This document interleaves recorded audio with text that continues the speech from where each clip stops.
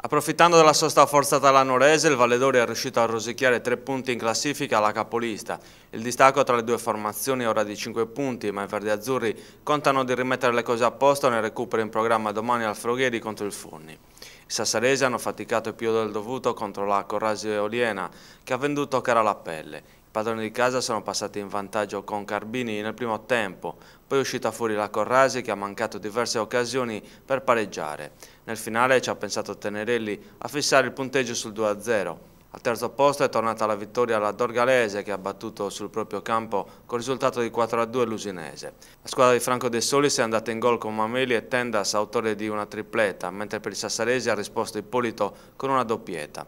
La Dorgalese bracca da vicino il Valledoria, pronta ad approfittare di un suo passo falso. Al quarto posto sale l'Ardara che ha interrotto la striscia positiva del Ghilarza di Nino Cucu. La formazione sassarese ha conquistato tre punti d'oro in trasferta grazie al gol di Nino Aldiddu. Porto Rotondo e Codrongianos salgono al quinto posto grazie a due vittorie. La squadra di Franco Fiori è andata a vincere sul difficile campo dell'Ilva Maddalena, un 2-0 firmato dall'ex verde azzurro Grassi, autore di una doppietta. Gli Smeraldini invece hanno superato la Bittese al termine di una gara ricca di gol e terminata col punteggio di 6-3. Nella zona centrale della classifica il Lauras ha dominato la sfida con la Basanta, 3-0 il risultato finale grazie ai gol di Soro, De Rio e Andreoli. Nei bassi fondi della gradatoria il Posada ha espugnato il campo del Tonara sulla cui panchina è tornato l'allenatore Micili.